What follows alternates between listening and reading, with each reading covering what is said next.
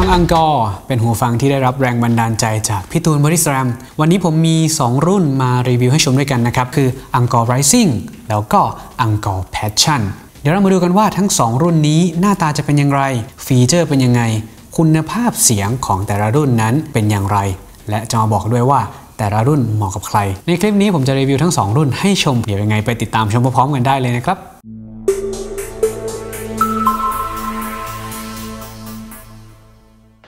เริ่มต้นที่ Angkor Rising นะครับ จะเป็นหูฟังแบบ Ear Monitor เหมาะสำหรับการใช้งานสำหรับคนที่ต้องการคุณภาพเสียงค่อนข้างสูง ถ้าเราเห็นนักร้องที่ขึ้นคอนเสิร์ตนะครับ หรือขึ้นไปแสดงอยู่บนเวที เรามักจะเห็นหูฟังที่เขาใส่อยู่นะครับ เขาจะเรียกหูฟังนั้นว่าเป็นหูฟัง Ear Monitor คุณสมบัติของหูฟังที่ดีนะครับ จะต้องการเสียงรบกวนได้ ต้องมีการแยกคลื่นเสียงที่ค่อนข้างดีนะครับมีทั้งเสียงต่ำเสียงกลางเสียงสูง ต้องแยกได้อย่างชัดเจนนะครับเพื่อที่จะทำให้นักร้องหรือว่าคนที่กำลังทำการแสดงอยู่นั้น ได้ยินเสียงของตัวเอง หรือว่าได้ยินเสียงต่างๆ ได้อย่างชัดเจนนะครับเรามาดูในเรื่องดีไซน์ของหูฟัง Angkor Rising กันนะครับ หูฟัง Angkor Rising ตัวนี้นะครับ ตัวหูฟังจะขึ้นรูปด้วยอะคริลิกเรซินนะครับ ซึ่งเป็นเกรดการแพทย์ การผลิตนั้นจะผลิตแบบงาน handmade แล้วมีสาย OFC ทองแดง ที่ชุบด้วยเงิน เชื่อมต่อกับหูฟัง ด้วยขั้วมาตรฐานแบบ MMCX สามารถถอดสายออกได้ รองรับการอัปเกรดสายในอนาคต ในส่วนของอุปกรณ์ที่มีอยู่ในกล่องของ Angkor Rising นะครับ จะประกอบไปด้วยหูฟัง Angkor Rising 1 คู่ ซึ่งตัวนี้สามารถถอดออกจากสายได้นะครับ ตัวสายเชื่อมต่อหูฟังที่สามารถเชื่อมต่อได้กับพอร์ต 3.5 มิลลิเมตรนะครับ นอกจากนี้ยังมีกระเป๋าสำหรับการใส่หูฟังได้ด้วยนะครับ แล้วก็จะมีตะขอสำหรับเกี่ยวด้วย เผื่อที่ใครจะเอาไปเกี่ยวกับตัวกางเกงนะครับนอกจากนี้ครับมีชุดของ Ear Tips มาให้เลือกเปลี่ยนได้ด้วยนะครับให้เหมาะสมกับการใช้งานในแต่ละแบบนะครับหูฟังตัวนี้นะครับเป็นหูฟังแบบ in ear หลายคนอาจจะคิดว่าสวมใส่แล้วรู้สึกอึดอัดหรือว่าเจ็บหู แต่หูฟังตัวนี้ได้รับการออกแบบมาให้เหมาะสำหรับสรีระของหูตามหลักของ ergonomics สวมใส่สบายแล้วก็ไม่เจ็บหูนะครับ เมื่อสวมใส่แล้วมีความกระชับพอดีกับรูหู ลงตัวทั้งการสวมใส่แล้วก็การฟัง สำหรับตัวหูฟังเองมี ear tips มาให้เลือกเปลี่ยนด้วยนะครับ สามารถเลือกให้เหมาะสมกับการใช้งานในแต่ละด้านได้เลยนะครับ มาดูไฮไลท์จุดเด่นในเรื่องของคุณภาพเสียงของ Angkor Rising กันบ้างครับ ต้องบอกว่าหูฟังตัวนี้เน้นเรื่องคุณภาพเสียงเป็นหลัก จุดเด่นสำคัญของ Angkor Rising นะครับก็คือตัว Diver Balance Amateur ใส่เข้าไปในหูฟังมากถึง 5 ตัว ใช้คุมย่านเสียงของแต่ละย่านความถี่ ซึ่งจะประกอบไปด้วย ย่านความถี่ต่ำหนึ่งตัว ย่านความถี่กลาง1ตัว และย่านความถี่สูงอีก 3 ตัว แน่นอนว่าการฟังนั้นสามารถเข้าถึงทุกรายละเอียดทุกย่านเสียงระดับสูง ย่านเบสลึก เสียงกลางชัด แล้วก็เสียงแหลมที่จัดจ้านแต่ไม่เจ็บหูนะครับทำให้ได้รับรายละเอียดของเสียงนั้นค่อนข้างที่จะดีเลยทีเดียวสำหรับการตัดเสียงโดย Angkor Rising นั้นจะเป็นการตัดเสียงโดยจุกยางตรงนี้นะครับ เวลาที่เราใส่เข้าไปแล้ว ตัดเสียงได้ค่อนข้างดีนะครับทำให้เราสามารถโฟกัสกับเสียงที่ออกมาจากหูนั้นได้นะครับ จากการที่ผมได้ทดลองฟังหูฟัง Angkor Rising ตัวนี้แล้วนะครับ ตัวเสียงกลางค่อนข้างที่จะชัดเลยนะครับ แล้วก็เสียงสูง ทำได้ดีเสียงเบสก็มาค่อนข้างลึก ตัวหูฟังจะถูกปรับเสียงจูนในระดับกลางๆครับ ไม่ได้แบบแหลมจนเกินไปลึกหรือแน่นจนทำให้รู้สึกว่าแบบอึดอัดจนเกินไปนะครับ Angkor Rising เป็นหูฟังแบบกลางๆ แต่ว่าดีเทลหรือว่ารายละเอียดของเสียงให้มาค่อนข้างครบ ซึ่งเหมาะมากๆครับสำหรับคนที่ต้องการหูฟัง Ear Monitor คุณภาพเสียงดีแบบนี้ แล้วก็ในราคาที่สามารถเข้าถึงได้ง่ายนะครับ ในเรื่องของสเปคต่างๆของ Angkor Rising นะครับ ผมแนบลิงก์รีวิวแบบบทความไว้ที่ใต้คลิปนี้นะครับ เราเข้าไปอ่านตัวสเปคของตัวนั้นได้อีกทีหนึ่งเดี๋ยวสรุปให้ฟังเลยนะครับสำหรับหูฟัง Angkor Rising Angkor Rising นั้นเป็นหูฟังประเภท Ear Monitor ที่เก็บรายละเอียดได้ค่อนข้างครบถ้วน แยกเสียงเครื่องดนตรีได้อย่างชัดเจน มาพร้อมกับระบบการตัดเสียงที่ทำให้สามารถตัดเสียงรอบๆข้างได้ กลุ่มเป้าหมายของหูฟัง Angkor Rising จึงเหมาะกับการฟังเพลงแบบระดับมืออาชีพ โดยเฉพาะผู้ที่เป็นนักร้อง นักดนตรี หรือว่าต้องใช้อัดในห้องสตูดิโอ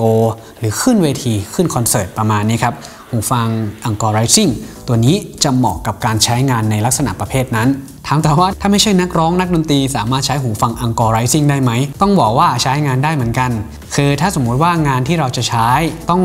ฟังรายละเอียดของเสียงที่ค่อนข้างเยอะ หูฟัง Angkor ตัวนี้ก็สามารถตอบสนองกับการใช้งานของเราได้นะครับ ซึ่งในราคา 6,990 บาท ต้องถือว่าเป็นราคาที่สามารถเข้าถึงได้ง่ายนะครับ ต้องถือว่าคุ้มค่ามากๆเลยนะครับ และถ้าหากว่าหูฟัง Angor Rising ตัวนี้อาจจะดูมีความโปร หรือว่ามีความเป็นมืออาชีพมากเกินไป อาจจะไม่เหมาะสำหรับคนทั่วไป ดังนั้นครับ เดี๋ยวเรามาดูรุ่นต่อไปครับ นั่นก็คือ Angor Passion ซึ่งเป็นหูฟังแบบไร้สาย True Wireless ซึ่งเหมาะสมกับการใช้งานที่หลากหลาย การใช้งานแบบประจำวันทั่วๆไป เดี๋ยวเรามาดูพร้อมกันเลยนะครับ รุ่นต่อมาครับเป็นหูฟัง Angkor Passion เป็นหูฟังแบบไร้สาย True Wireless นะครับ ตัวนี้จะมาพร้อมระบบที่เราสามารถ Touch นะครับ สามารถแตะสัมผัสเพื่อที่จะควบคุมการเล่นเพลงได้ Angkor Passion ระบบเสียงแบบสเตอริโอมาพร้อมระบบ Bluetooth 5.0 สามารถเชื่อมต่อได้ง่ายนะครับ คุณภาพเสียงถือว่าอยู่ในระดับดีเลยนะครับ เมื่อเทียบกับราคาค่าตัวของ Angkor Passion การออกแบบนะครับตัวกล่องจะเป็นลักษณะแบบนี้นะครับ เป็นกล่อง LED สีดำนะครับ แล้วก็จะมีโลโก้ของ Encore อยู่ และน่าจะมีตำแหน่งที่เราสามารถเปิดขึ้นมาได้นะครับพอเปิดเข้าไปเราก็จะเห็นหูฟัง Encore ทั้งสองข้างนะครับ แยกเป็นอิสระต่อกัน พอร์ตด้านข้างครับจะเป็นพอร์ตไมโคร USB สำหรับการชาร์จ หูฟัง Encore Passion เป็นหูฟังในรูปแบบ in ear บริเวณตัวหูฟังนะครับ ear tips ตัวนี้สามารถปรับเปลี่ยนได้นะครับ มีขนาดให้เลือกด้วยกัน 3 แบบ แล้วก็บริเวณตรงนี้นะครับจะเป็นส่วนที่เราสามารถเกาะติดกับใบหูได้ ซึ่งจะเพิ่มความกระชับอีกหนึ่งระดับ เผื่อใครกังวลว่าเวลาที่ใส่ออกไปวิ่งนั้น จะหลุดหรือเปล่า ต้องบอกว่าหูฟังตัวนี้เอาอยู่นะครับ สำหรับการใส่นั้นค่อนข้างที่จะกระชับ แล้วก็เวลาใส่เข้าไปแล้วค่อนข้างที่จะตัดเสียงรบกวนข้างนอกได้ค่อนข้างดีเลยนะครับ Encore Passion นะครับเป็นหูฟังไร้สายขนาดเล็กกระทัดรัดนะครับใช้บลูทูธ5.0 ในการเชื่อมต่อสำหรับการเชื่อมต่อครั้งแรกกับ iPhone นะต้องบอกว่า ทำได้ค่อนข้างง่ายนะครับเราไม่ต้องกดปุ่มอะไรให้ยุ่งยากมากมาย เพียงแค่เราเปิดกล่องของหูฟัง Angkor Passion ขึ้นมานะครับจากนั้นเราเข้าไปที่ iPhone ของเรานะครับไปที่เมนูของ Bluetooth เราจะเห็นหูฟัง Angkor Passion ขึ้นมา และทำการเชื่อมต่อ Connect เลย ต้องบอกว่าค่อนข้างที่จะง่าย ไม่เหมือนกับหูฟังแบบ Third Party ทั่วไป ซึ่งบางหูฟังนั้นอาจจะต้องกดปุ่มนั้นปุ่มนี้ก่อน เพื่อที่จะเริ่มการเชื่อมต่อ แต่ว่า Encore Passion นี้การเชื่อมต่อครั้งแรกนั้น ถือว่าทำได้ง่ายมากๆเลยนะครับ ด้านนอกของตัวหูฟังนะครับบริเวณที่เป็นโลโก้ของ Encore จะมีระบบ touch sensor ที่เราสามารถที่จะแตะสัมผัสเพื่อที่จะสั่งการต่างๆ ได้นะครับ ไม่ว่าจะเป็นการเล่นเพลง หยุดเพลง การเรียก Siri หรือว่าการรับสายเวลาที่มีสายเข้าการวางสาย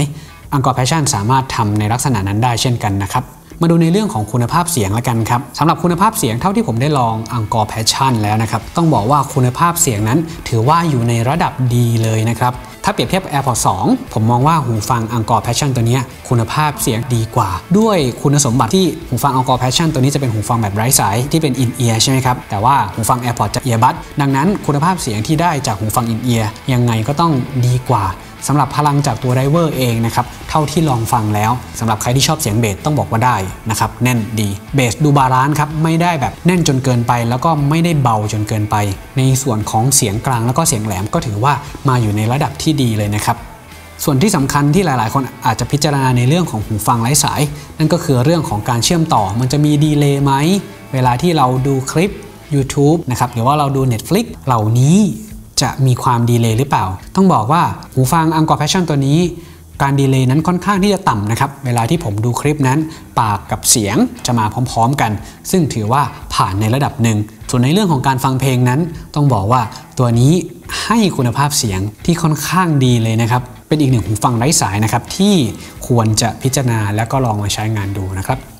จุดเด่นอีกเรื่องหนึ่งของหูฟัง Encore Passion นะครับอยู่ในเรื่องของการกันน้ำถ้าใครนำ Encore Passion ออกไปใช้งานไปวิ่ง ไปออกกำลังกาย แล้วก็โดนน้ำโดนฝนอะไรเงี้ยต้องบอกว่าตัวนี้ก็สามารถกันน้ำได้นะครับหายห่วงในเรื่องของการกันของเหลว ในเรื่องระยะเวลาการใช้งาน ถ้าใช้ฟังเฉยๆนะครับหูฟังตัวนี้ถ้าชาร์จเต็ม 100%จะสามารถใช้งานต่อเนื่องในการฟังได้ประมาณ 4.5 ชั่วโมง ส่วนถ้าสมมติใช้ในการคุยสายคุยโทรศัพท์ สามารถใช้งานได้ประมาณ 3 ชั่วโมงนะครับแต่ว่าถ้าใช้งานร่วมกับตัวกล่องชาร์จของ Angkor Passion จะสามารถใช้งานรวมกันได้ถึง 15 ชั่วโมง ต้องบอกว่า 1 วันเต็มๆนั้น สามารถใช้งาน Angkor Passion ได้นะครับไม่มีปัญหา ตัวกล่องก็สามารถที่จะชาร์จกับพวก power bank ต่างๆ ได้นะครับ อย่างไร้ปัญหาเช่นกันนะครับ ส่วนจุดที่จะต้องพิจารณานะครับ นั่นก็คือในเรื่องของไม่มีเซ็นเซอร์ตรวจจับเวลาที่เราสวมหรือว่าถอด เวลาที่เราถอดหูฟังออกนะครับ ตัวเพลงจะไม่หยุดเล่นนะครับเนื้อหาจะไม่หยุดเล่นถอดออกมายังไงนะครับก็ยังอยู่อย่างนั้นสวมใส่เข้าไปก็จะเล่นต่อประมาณนั้น คือมันจะแตกต่างกับตัว AirPods AirPods นั้นจะมีฟีเจอร์ที่แบบว่าตรวจจับได้ว่าเราจะสวมใส่หรือเปล่า นี่ก็คืออีกหนึ่งจุดที่เราจะต้องพิจารณาในส่วนของฟีเจอร์ของ Angkor Passion นะครับเดี๋ยวเราสรุปในส่วนของ Angkor Passion นะครับ ต้องบอกว่า Angkor Passion เป็นหูฟังไร้สายแบบ True Wireless อีกหนึ่งยี่ห้อนะครับ ที่คุณภาพเสียงนั้นค่อนข้างที่จะ